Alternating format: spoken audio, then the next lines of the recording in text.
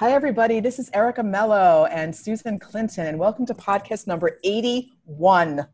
19 more to 100. We are plugging along. Um, before we get into this interesting patient of mine, Susan and I wanted to uh, make an announcement about a, a wonderful uh, program that we have started, or we have started this week. Right. So if you haven't opened your emails that came out on Tuesday, be sure that you go back and open it because it's got some time sensitive information that you don't want to miss. this is our very first um, Tough to Treat clinical mentoring membership program that we have launched, and we're just excited as can be about it. Um, we're going to be able to do so many cool things in this membership site with you, including weekly calls about your clients and what you want help with. We have a very cool library that we're building with resources. Yes, and we're also yes. going to um, just really be able to connect on a much deeper level and really, really provide a, a bit more personal service to helping everybody overcome that fear of the tough to treat client.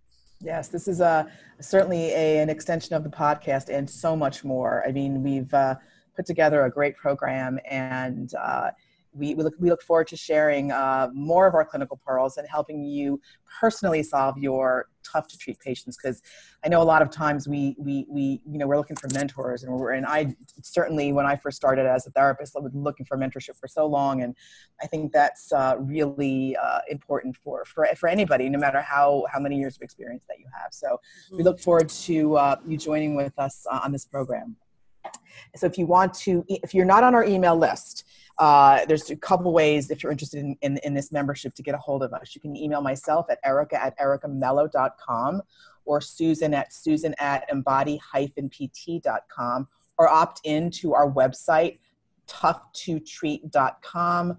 Either one of those ways, uh, you'll will uh, will get you on on the newsletter. And if all else fails, you can always go to the Facebook group and message us. Absolutely, we'll get you onto our newsletter. Sounds good. So this is a uh, uh, very brief intro. This is a 19-year-old uh, soccer player, very elite soccer player here in New York that uh, I am treating, and typical, you know, case of low back pain, but once again, the atypical source to his problem. And what's very interesting, and I'll just put this thought in everybody's head: really significant back pain, but can run no problem cannot do side to side. So listen to the podcast and you'll find out. Enjoy.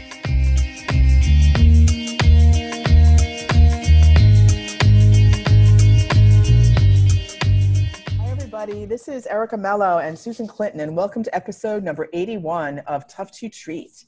And this is, I'm going to just get right into it. This is a patient who is 19 years old, a male, somewhat of an elite soccer player. He's in college, he's a sophomore in college, and basically uh, high level, high level soccer player, and uh, has had low back pain for many years. Uh, you think he's 19 years old? How, how many years can someone have back pain? But um, very much of a typical sort of lord, lordotic posture, and uh, had you know MRI and X-ray, and they said he had a sort of a pars fracture, stress reaction, and that's really what I got out of him did not have, did not get, I didn't see the MRI or the x ray. This has been going on for some years now. Uh, and he basically had been seeing another therapist up where he lives. He doesn't live directly in New York. Uh, and basically had been working on his pelvis probably mostly you know he basically felt that his pelvis was going out this is what i think what his story that has been told to him like he wouldn't 19 year old soccer player wouldn't say my pelvis is going out. That's just not something that these kids would say right? So so that's the story that he has been told. And that's the story that is in his head. So uh, I'll just briefly go into his no other past medical history. This was he fractured his uh, you know metatarsal on his right foot, uh, probably about a couple of years ago. He did that four times. No, no, excuse me. He fra- he sprained his ankle on his right ankle four times, and he fractured his fourth met once. Right foot. That's the maze, the basic movement history is, is uh, what am I, his basically his only significant past medical history. No other issues except a stress fracture, stress reaction at L5S1 some years ago. Uh, his other injury history is basically just some right hip flexor strain, uh, things like that. And when he went to see other therapists, they told him he needed to strengthen his glutes, get his core going, et cetera, et cetera. And when he worked out with the team, they really wanted him to focus on his glutes. He, he basically stands with this sort of typical lordosis, you know, anterior pelvic tilt. He ended up putting on muscle, put on 10 pounds of muscle, which helped a little bit. Uh, but when I saw him, his back had been flared up again. And the quote that I got was, I'm out of alignment and I need to realign myself. And I'm like, okay, okay. And so the first thing I'm sitting there thinking is, I need to debunk this because this is not helpful for 19 years old, especially an elite athlete, you know, who really is, is not, you can't keep thinking this because this is not, I mean, to, I need to you know, nipped out in the bud from the beginning. Don't you agree, Susan? Because I just can't I, proceed. Totally, totally. Because it's starting to speak of um, a complete lack of self efficacy and being able to take care of himself that he needs somebody to align him or he's doing something to make himself be in quote an alignment or pelvis out or something else and um, you know we, we've learned so much that, that we just know that that is that is not helpful information at all and in fact it can actually drive sensitivity up yes exactly exactly so he in his story he so i debunked that uh, and, and, and i think I, he got it. I'm, I'm, like, well, how did you put yourself back in alignment? And it's like the typical shotgun maneuver with the ab and adduction, with you know that we all learn in, in at some point in our out you know our courses that we take. Um, and that once again, I explained to him, it gave you, know, may give you some short-term relief, but it's really not correcting your movement strategy. He had no problem running, so he had right-sided low back pain. So that ran mostly lower L5S1. He had a secondary complaint of right-sided sort of subscap pain, like subscapular pain. I would say T10, T11, T8, like around that area. Uh, but it was more right hand went to the PSIS, upper, you know, L5S1. The other hand went up just below, like the around the seventh and eighth rib on that same side. He is right handed. No problem running, zero problem. He had no back pain when he ran he said when he moves side to side, his lateral movements on the soccer field, that bothered him. He went skiing this winter. He got on a snowboard. That bothered him because you're on a snowboard, you're in that sort of side to side movement. Mm-hmm. So that really bothered him a lot. So, so it was the side to side. And I'm going to stop there and let me know what your thoughts are because I thought that was interesting. That is interesting. You know? That is interesting. Yeah. So my thoughts are is it side to side or is it some sort of rotational component that gives him that lateral movement just kind of off the top of my head thinking you know is yeah. it ba- is it coronal base side to side or is it flexion and side bending you know extension side bending kind of side to side movements that are giving him you know the ability to kind of you know switch back and forth on the soccer field you know right. not just running straight ahead but you know to the left to the right to the left you know right and he's um, i believe a mm-hmm. midfielder mm-hmm. so he's he is running side to side back and backpedaling as well mm-hmm um. Okay anything else or should we keep going no i i think we other than the four ankle sprains on the right yes and then a fracture on the right foot yes yeah yeah so, um, and then just, hip flexor strain. Sorry, go ahead. That's that's all right. I'm just guessing that he probably is spending a lot of time on his right side. he well, he was. okay, he certainly was. There's your first clue. Everything's happening over there. What's going on? He certainly okay. was. All right. So he, you know, it's interesting because I'm trying to like not once again because I see we see these patients who have been elsewhere or who've had this. You know, I, I knew I, I knew he had his pelvis worked on it. I, I mean, it, at this point, it's not his lumbar lordosis, his uh, his stress fracture, his stress reaction that happened three years ago. That's the problem. And he says he keeps pulling out his hip flexors. I'm like, well, you're standing with an anterior pelvic tilt. You're you're just you maybe over recruiting your hip flexors. You may not be, but that doesn't kind of like factor in a side to side movement. You're not, that's not like the main movement pattern, the main, you know, that's not the main muscle at the party here when you're going side to side. So I took a look at him in standing. So I, I, I just got a baseline in standing. And interestingly, his pelvis was way to the right. His pelvis was way, mm-hmm. so I just stand behind him, marry my feet to theirs. He put my hand on the top of the iliac crest. His pelvis was way off to the right. His thorax and his head were way to the left. So he was almost, so he was really net left. He was net left. Mm-hmm. However, I said, you know, your your your um your center of mass is really off to the left side. He's like, you know, it's funny because I seem that I, over the years I've spent a lot of time on my right. I'm like, well, no wonder. I mean, you've sprained your ankle four times, you fractured your fourth metatarsal.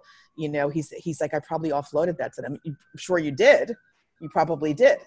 Okay, so that's how I that's how I saw him. Then what I did was I actually because I think that it's important that um, that these patients feel felt so to speak. So I went in, I palpated the iliocostalis, all the muscles in his in his in his back, just to, to give homage, I guess, to, to his low back to say, yes, you know, like I don't want to, some people are like, you don't have to touch my back. I know it's not my back, but some people want you to touch their back. So, so like he wants to, I want him to feel felt. So I went in and I poked around. He was very sore, tender to palpation. I, I noted like on seventh and eighth ribs. Lower down, not so much. He definitely had an anterior translation at L4-5. Not surprisingly, his his net sort of rib cage, his trunk, his trunk was to the left. So I had him.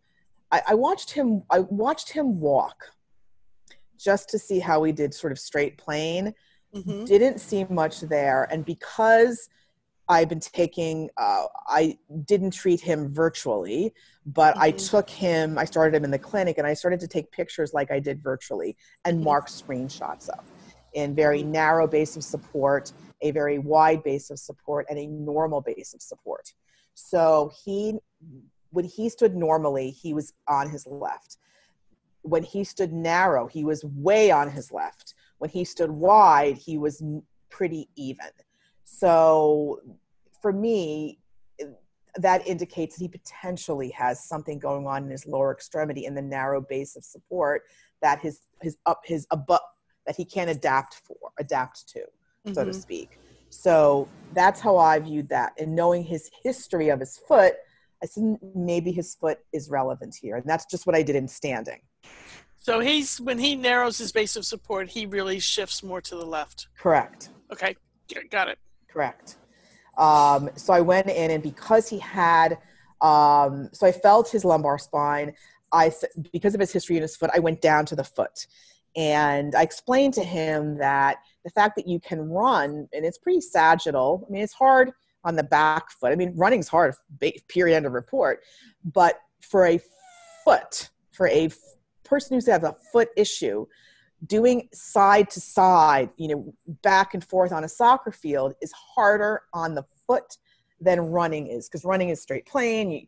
But side to side is really hard on a foot that you can control. And I explained that to him before because his story didn't make sense to me. It's like, why can he go side to side and he, and he why can't he go side to side, but he can run? And I'm like, well, let's figure body regions of the body. That's hard for the foot to do, side to side. It's hard for the trunk to the thorax, the thorax, the thorax to do. It's hard for it's hard it's hard to do side to side generally uh, mm-hmm. uh, for me especially if you're living on one side like i live on my right leg i have a hard time going side to side to my left but that's but that's just me. So kick, I, what was his kicking leg? Did he kick left? He kicked right. So he kicks right too. He kicks right. Yeah and it's really interesting because i'll just throw, throw this as an aside because i tested his just i just did this quickly I tested his one-legged heel raise on the right just to see. Mm-hmm. He could barely lift his heel up. It was like a 2 mm-hmm. And I don't normally test that, but I just had a hunch. His left foot, he was about a four, four plus. So he had very poor, poor, poor strength in that right leg. And I'm like, well, is he kicking with his hip flexors? What's he using? And he's, you know, how is he pushing off and how is he kicking? He kicked with the right, and then he, when he when he pushed off, he said he pushes off better with his. I'm like, how could you do that? You have no push off. You have no calf strength. So this is just some some visits later we were problem mm-hmm. solving together so in terms of any lumbar for the for the listeners uh, i didn't feel a need to do any lumbar cardinal plane movement like forward bend backward bend i could have i could have done a side bend i, I but I, I didn't because i it, i didn't think that was relevant to his side to side movement to be honest i you know this is my clinical patterning so that i see i could have I, I, felt his low back. I felt that I devoted enough time to the low back, you know, and just palpating it and, you know, just getting in there and, and noting, some anterior translation. But I didn't feel a need to really evaluate it because I, when I took a look at his movement pattern, so when I had him, side to side is a bit hard for me to evaluate, to assess. So what I did is, I mean, I did, I did it, but I watched him squat. Let me say just squat for me. Let me see what you look like. You got to get in a squat position to go side to side. You don't just go side to side standing up. So i had him squat. And he went way to the left. Like and i mean like like he almost fell over to the left. And so his trunk so what i noticed was as he squatted his trunk went first and then his feet went. Like he had no control at all. And i'm you know a lot of these athletes they have they're good at their sport but when it comes to different movement patterns and other isolated strength movements like like arm work they're, they're they show a significant deficit. Uh, so what i ended up doing after that is I, I had him squat. I looked at his foot. I looked at his foot. I looked at his pelvis. I looked at his back. I looked at his trunk i knew it wasn't the pelvis because there's nothing in his history to say that he would have anything wrong with his pelvis. There's no loss of control. He's 19. Does he have a weak core? Maybe, but that doesn't mean his issues in the pelvis, you know? Uh, so I ended up videoing him and then taking a picture again at the mm-hmm. bottom of the squat. And he's a quick learner. So I said, see how your trunk is over to the left. You, you're just, you're not loading your right foot so when you're on your left side for so long because of all the issues on your right, you've lost options. Your right side cannot adapt to movement patterning. So you just you just you're right you need to wake the right side up. So what I did was I ended up just doing some once again just a modification to his foot. I, I for the purpose of the podcast, I just went in and just put his subtalar joint in neutral. Put it down there, and then I had him just I said, just squat for me now and i held it. So i had my hands on his back on his trunk and i just held what i did with my so i took my shoes off. I put my right foot against his right foot. I just held the, held my correction for lack of a better word. He squatted and he was better probably 80% better but he was still going off to the left. So and i felt like this resistance coming from his like you talked about earlier susan the rotation. Mm-hmm. i'm I, so it was like he squatted and then halfway down he was just going all the still going to the left and I don't. And at the time, I didn't. I didn't know why. So I'll stop there. And if you do, you have any questions or anything?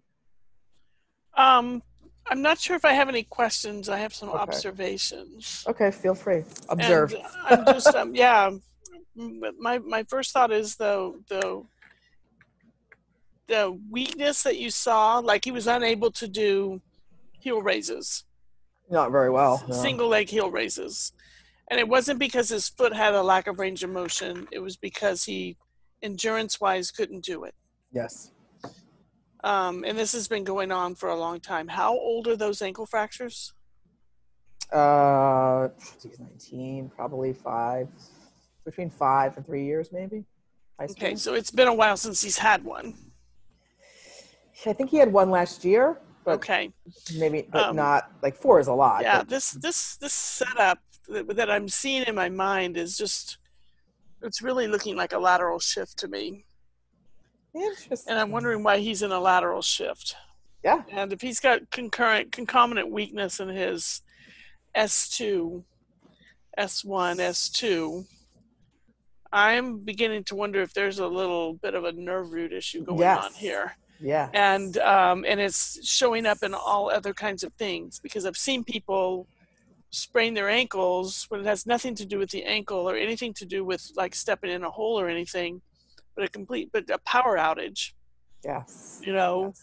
um, because the you know the the um, they're just not getting the same overflow neurological overflow that they should be getting. So I'm just that's that's kind of what I'm envisioning here. Yeah. Is like that this is what's happening and that if you can get him set and switch he's not reactive as far as like down the leg. Like like neural sensitivity in that way.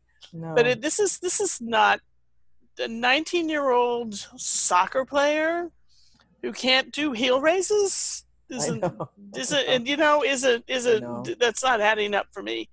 Um you know and i'm just so i'm there's there had to have been something that happened in there. Um, but i'm also kind of like thinking okay so if you can get his foot to shift and you can get him to go down straight but then he still at some point has to shift left with his trunk. Yes. You know yes. so there definitely there's you know in this and so this is what this is kind of my line of thinking of where i'm headed here. Because um, uh, shifting to the left, you know, if, if his trunk shifts over to the left, that's actually rotating this way, shifting left side. So I'm thinking that what's happening here is, you know, that's maybe where kind of the psoas, and I'm not a big picker on the psoas, but I'm thinking when you see lateral shifts, yeah. I have to think that the psoas is involved because what that and the quadratus is what keeps you laterally shifted. Yes. Yeah. And um, and that may be where that's coming in as he got into a movement pattern to get off of that nerve root. Yeah. You know, even yeah. though it didn't give him pain down the leg, if yeah. he, if there was something that was happening at that level of the nerve root, um, and um, he his his body his brain did something to get him off of that mm-hmm. and it mm-hmm. has not allowed him to go back right you know right. he's gotten into that movement pattern and that's where he stays and when he has to go lateral um, you know he kicks right so he, it's kind of probably automatic to stick his left foot up underneath his trunk so that you know he can kick right because you can't have your left leg way out to the side to kick right it's gotta you gotta yeah legs yeah. cross in soccer. I've watched enough of it to see how that happens.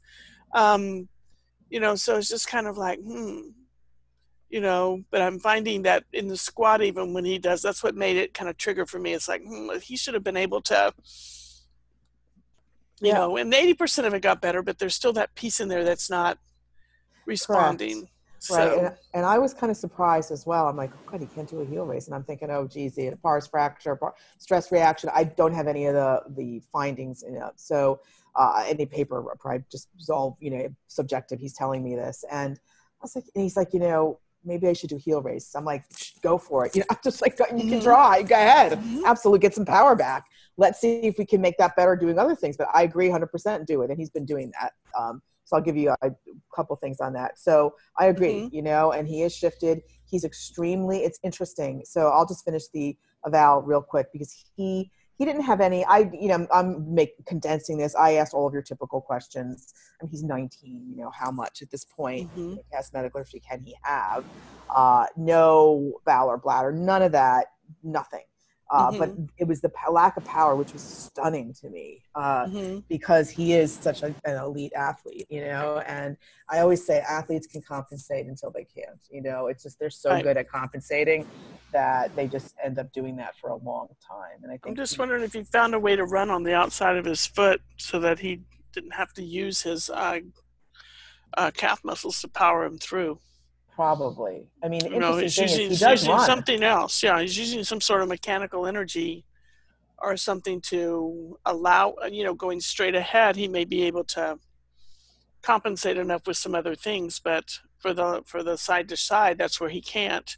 Right. You know, and there's only so much mechanical energy from the IT band will give you to, you know, kind of hold you as you go sideways. Right. But you know, they can't I mean, do it all for sure. That's very interesting. Yeah, you didn't happen I mean, to do a reflex test on him, did you?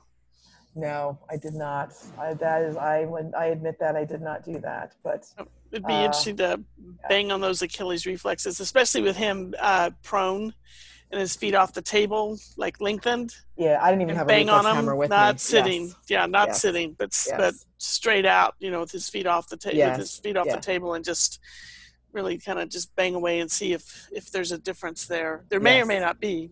Yes, you know what? I will do that. I actually yeah, just um, just as a thought. Yeah, I just you know it'd be kind of interesting to see because you know Uh, and this is interesting because this is really important because you don't have to have pain to have a power outage.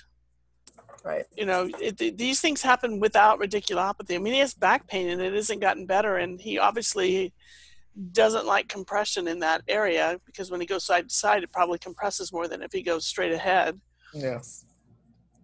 So it's yeah, sensitized, you know. Right. But how does he get that power pushing off that right leg when he runs? Mm-hmm. And, and that just blows my mind, you know? Uh, I did do your typical, I did do a slump test. I did a straight leg raise. I didn't think I was going to find anything that was all mm-hmm. Um, you know, I, when I, I just literally, I got, I, I, I got so sidetracked after I saw that heel raise. I was like, oh my God. Uh, but he, you know, once again, I just wanted him to feel, he knows how I treat. So he's, it's, he didn't expect me to do a full blown like normal exam that he's had before, mm-hmm. right? So I I wanted to live up to that reputation, so I just did you know my, my my assessment where I look at everything in the relationship between each region of the body, and when I corrected his foot, yes, he squatted better, but it wasn't great. It wasn't it wasn't there was a remaining 20%. So I went in and I just did uh, I just gave a little support to his trunk, did a little decompression, put my hands on his rib cage, just gave him a little breathing space in his rib cage, and then I had him squat, and he was pretty good. And mm-hmm. you know, he went down. I just gave him another input to the nervous system, mm-hmm. you know, just some stability, and he was fine. So fast. So so this was the first visit, and I explained to him that you know I didn't want to harp on the weakness too much because he's I just said, you know, you want to do your, I think you should do them. You do them at this point. We need, you need to focus on them. Just mm-hmm. do them while you're standing. Do them whatever. You know, just do mm-hmm. them. So that was, you know, we went home with that. So um, because he, I was, I had to explain to him why I felt that the foot was in the picture as well mm-hmm. as perhaps the thorax, maybe less so, because of his prior movement history with the four ankle fra- the four ankle sprains and the right fourth met fracture. And I didn't want to go into the whole pars, lumbar, potential mm-hmm. nerve. I just it just wasn't going to be helpful for him no. at this point. So he was like, "Oh, my foot. Of course, that makes complete sense." And so when I I, I, I showed him in a couple different tasks. then I got him in a deep squat Okay, I corrected his foot once again. I got him in a deep squat. I gave himself some support once again, you know, under his thorax, some decompression. He went side to side and he was significantly better. I mean, well, I'm standing there with my foot on his foot trying to, to, to prevent him from sliding over. And it did not reproduce his back pain.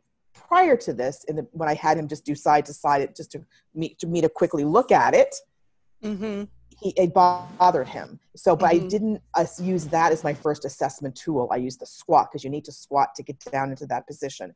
Once I determined the drivers in that position, I, I, I, what we corrected them, neutralized them, had him squat. Then he went side to side, and he was much better. He didn't have any pain there.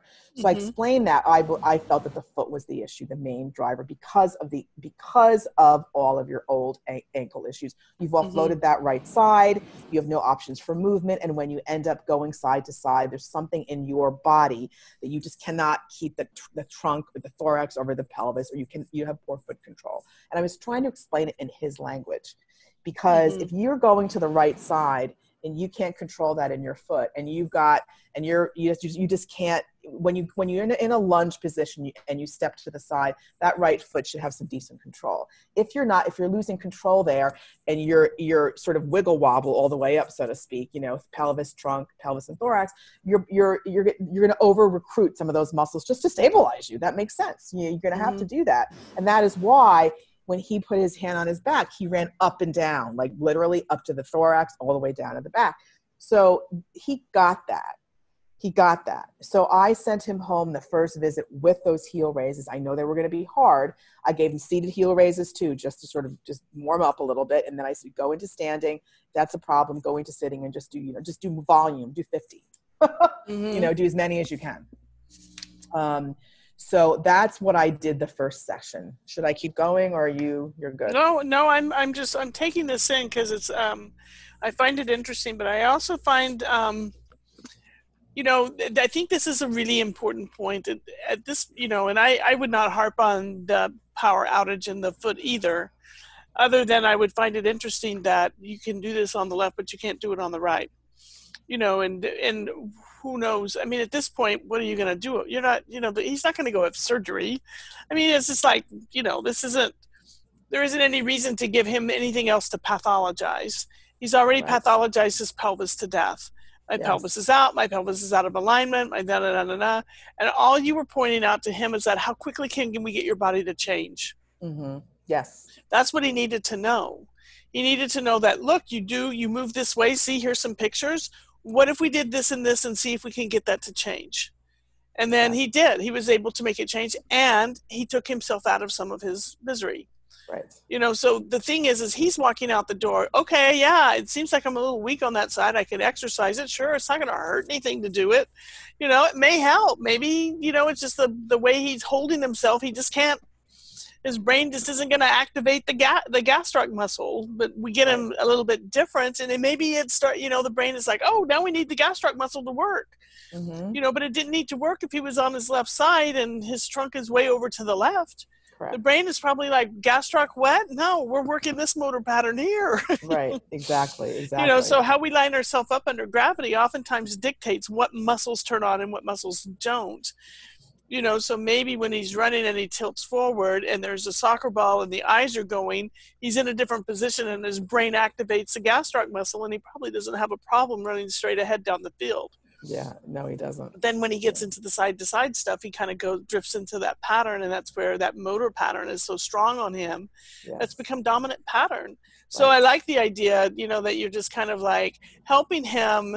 You know, it's not like there's anything wrong with the foot. Like you're not you know what I'm saying? I know people hear the word correct, and it's not like the foot is incorrect. It's that all Erica is doing is putting her hand or her foot on top of his foot to give him some input so that he can get a feel for I must be shifting off my foot every time I go to squat because I'm, I'm flying over here to the left. And all she was doing, all you're doing is giving him input so that he can kind of, oh, I think I need to keep weight on this foot in this way because that's the change you were looking for to see if it would help him move differently. Correct. And it did you yeah. know and so and that's the novel input to the system like you were saying and that's what he's going home with here's a guy that's coming in with a pelvis that's out and misaligned and thinking he has to be dependent on somebody to get it back into alignment because he, he's done something to himself yeah. and now he's walking out the door going cool i get to do these calf raises and if as long as i kind of do this this way my back doesn't bother me as much so now he's kind of onto something like it's in his control and he understands movement and those types of things. So yeah, you're right. You're speaking in a language that makes a lot of sense to him. That's meeting the people where they are. Yeah, he's a quick learner, and yeah, all I you know, yeah, and all I did was basically I just had him lift his heel up, and I like let me just put your heel down, and I just literally put you know put my hand on the heel, placed it down.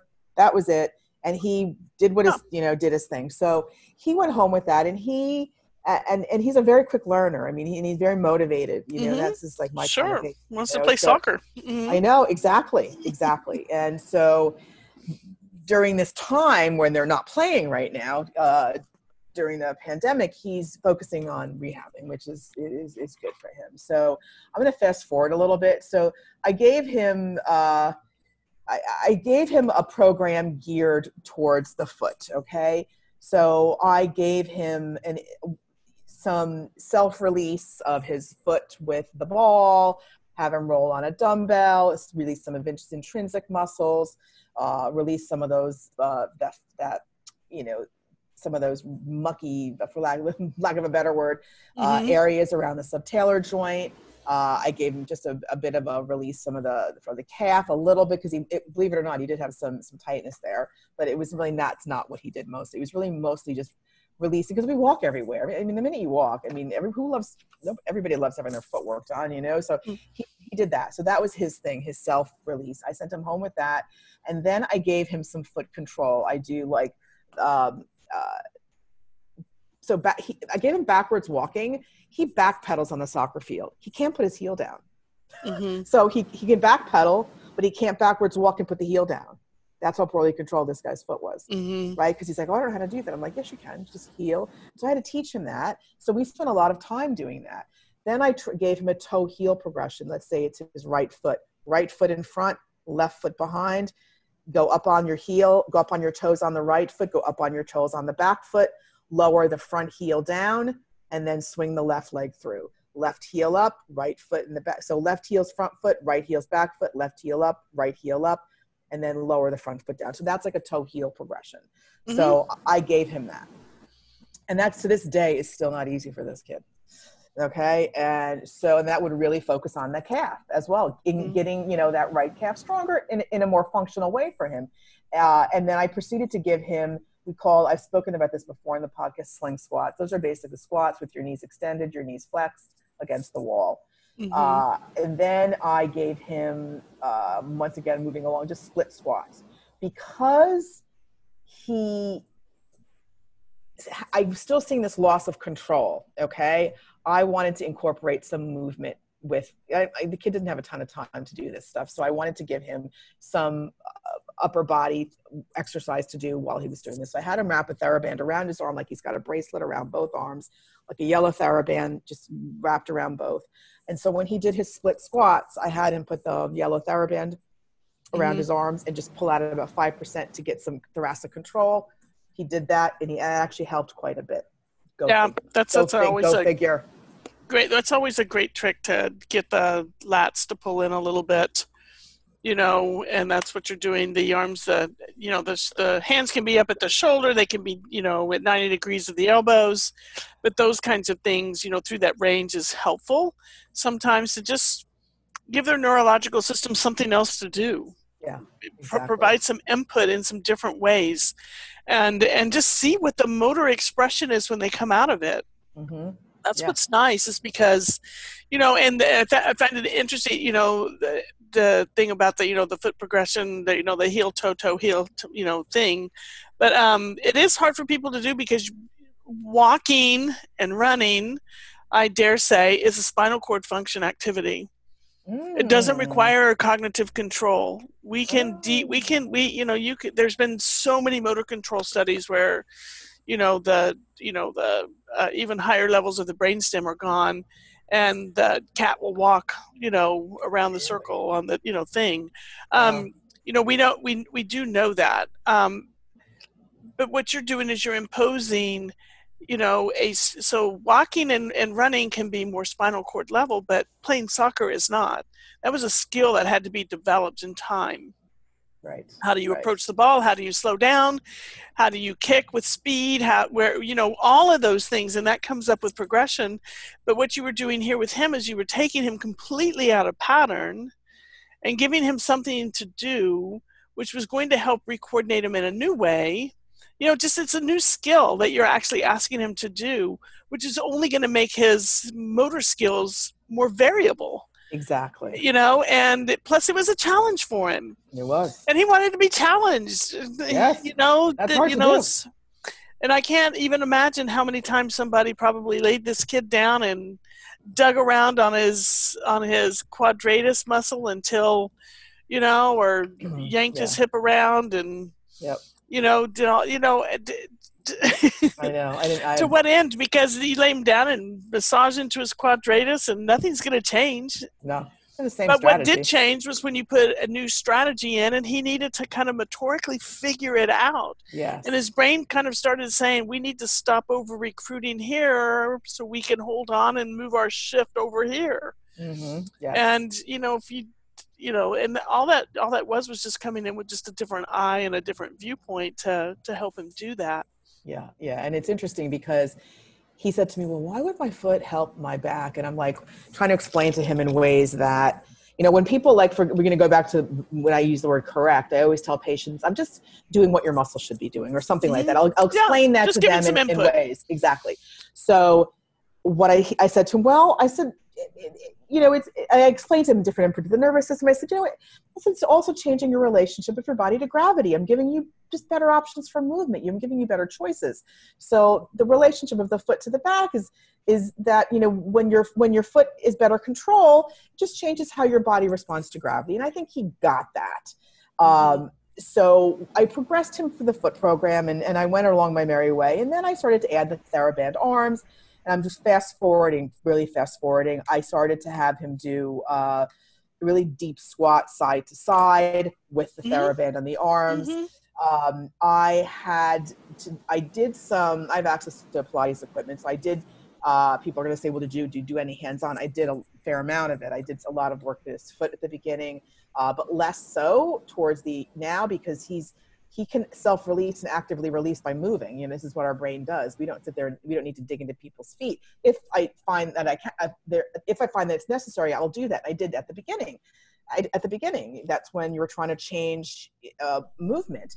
Uh, and if need, if something needs to get released, I'll do it. And I and I didn't did, didn't touch his back, and I ended up doing a little bit of uh, I didn't do anything with regards to his trunk in terms of release work. It was really more. I'll explain this in a second. I gave him some upper extremity mobile, um, upper extremity movement, but mm-hmm. I did do hands-on. Okay, I've done a lot of work with recently with getting the patient into a movement like a squat. Okay, and I'll use his foot, and I'm having him. I'm like putting my foot once again against his right foot. You know, modifying it in a way. Mm-hmm. preventing him from doing his non-optimal movement pattern. And then i'll have him squat i'll have him go side to side so i'm, I'm almost training him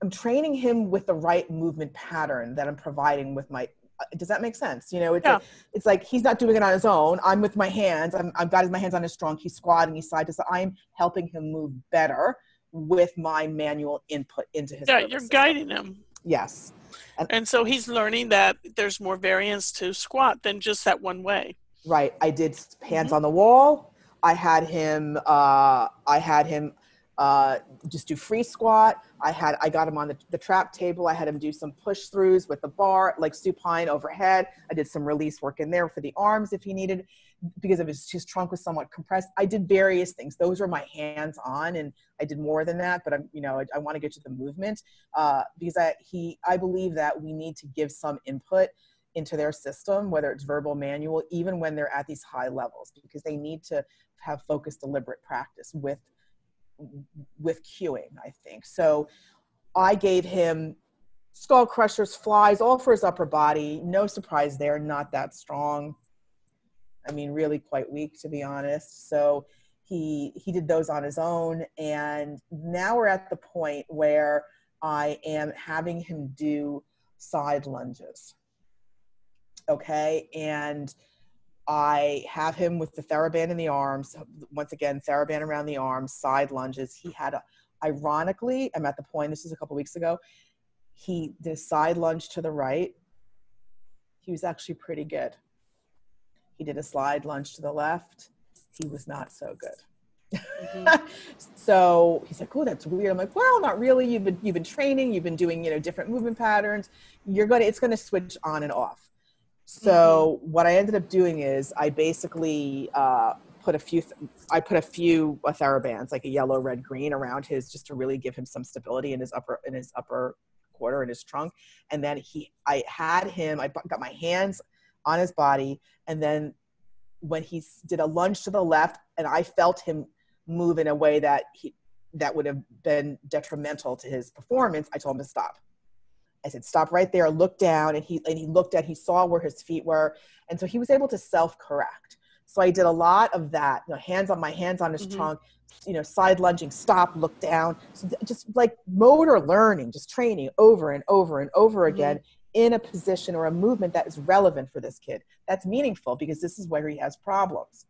So I stepped back. This is probably after 15. I was like getting my workout that day, 15 slide lunges. I stepped back and I watched him do it on his own, and he was fine. He still falters, you know, occasionally, but sure, it takes that, time to build those programs. Exactly. And I said, "This you're going to need to do volume of this." But the but the important thing is, is you took him from extrinsic input to intrinsic correction. Right.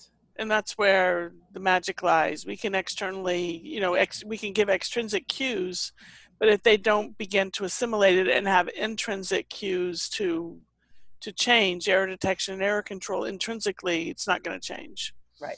And, and so, you know, the magic is getting on and helping him feel it, pointing it out, working with him, but backing off, pulling those things away as fast as you can, and let them start doing the motoric problem solving. Yes. And it's interesting. He was away for a couple of weeks on vacation this summer, and he came back and he said, "Oh, my back's really sore." And I'm like, and he's like, "I know what I did." He was on one of those wakeboards, you know, that where you like push up, mm-hmm. and so he did a push up, and he's like, "Oh, I my whole back just jacked up." I'm like, "Okay," you know, and so that was a bit of a, you know, I had to like literally problem solve that with him on the fly. And he doesn't do very well with closed chain arms. He's very weak in his arms, very weak in the triceps and push ups. So I explained to him, I said, the same thing. My guess is you just, number one, that's a really hard, hard move to do. Abdominals, you need a ton of abdominals for something like that to stand on a moving board. And then you have to push off with your triceps, which are inherently weak. So it doesn't surprise me that your body just use whatever muscle it normally uses to get yourself up and standing, which is your back. And so not surprising. And so he's out of that now. Um, he's fine. So I'm going back to the heel raise. So I saw him last a couple weeks ago, and I, I said, "How is your heel raise coming?" It's like, "Oh, it's not that great." I'm like, "Oh, really? Show me." So he he he does the heel raise, and it's like a three plus. I'm like, "Oh, that's so much better." Mm-hmm. I said, "Can you put the yellow TheraBand around your arms?" And just do your heel raise for me. I'm curious. So what does he do? He does the heel raise and he shoots right up. Yep. And I'm like, okay, so was there an inherent weakness there or was there some motor control or nerve root? And because I the minute you said nerve root, I thought of this two weeks ago and I was like, it was definitely better, but the minute I just gave him something, mm-hmm. some sort of TheraBand to control his his dare I say, alignment, you mm-hmm. know, in standing, go up, shot up to a five students. Changes motor pattern, yeah. It just changes his motor pattern. Um, it'd be interesting. That's why I was wondering if I was saying, asking if you had done a, a reflex. I will on him because, well, you know, now it's like probably irrelevant, but yeah. um, you know, then it it would just been interesting to see because they they probably would have been fine. Right. Like, right. but that's just kind of helpful to kind of know. Hmm Yes. You know, is this a is this a and this is the thing that we get into with people is like people say they come to me, you know, my my my glutes don't activate and it's like because you're not putting yourself in a position for them to turn on. Your glutes will do what you need them to do when you need them to do it. Right. But if you're going to stand this way, there's no reason for your glutes to work. Right. You know, and it's just, but then that was him. There was no reason for his foot to work because he wasn't going to do that. Exactly. You know, his trunk was way over to the left. That's where it was going to live, and that's where he was. Yes. And it probably had been for a long time. So you're thinking visuals, optics, cervical spine, balance reactions, you know, head rotations, everything has been over on this left side for so long. No wonder it's difficult for him to like begin to kind of shift back. Yes, and it's you know? yes because he's now doing part-time work and he's folding and doing things. He's in a sort of forward bend position, and his back is flaring up just a tad in that position. Mm-hmm. So, and that's a new movement pattern. He has never done that. He's, he doesn't do that, and so we're working on him getting him to mm-hmm. to get go in and out of that movement pattern without kicking his back in. So mm-hmm. that's I think a one-off thing. Uh, but his main sort of side to side is significantly better. So primarily, my my treatment has been geared towards the foot, more of a of a loss of control than a, like a you know like a stiff rigid foot he did not have a stiff rigid foot trust me um, but we did do release i gave him self release i did a lot of dynamic uh, movement uh, dynamic training with my hands on there and i also with the as you mentioned the intrinsic i love that because he needs to feel what i feel mm-hmm. he needs to feel what i feel and that's for him is the way he learns better and we're at the point now where I've actually like so for example a lateral lunge will be difficult for someone who has a foot issue easier for other people so that's the main thing I'm training now however I've noticed he's got his inherent weakness in his upper quarter, right? And I, I mm-hmm. think that maybe that 20% of that why he didn't when he squatted he was just losing control so i'm giving him some closed chain bearing in mind that's what got his back flared up over the summer but uh closed chain and wall push-ups oh. you know well, you're backing, you're, yeah, you're backing down what what he did. You know, what flared him up over the summer was this novel situation where he had to do a lot of probably over recruitment to Yes. make it ha- you know and he's got sensitivity i mean Yeah. this has been going on long enough that there's a there's a there's a partial central sensitivity going on here. There's peripheral sensitivity too evidently Yes. but there's a central one as well. And so what you're teaching him is not to be afraid of his flares. Right.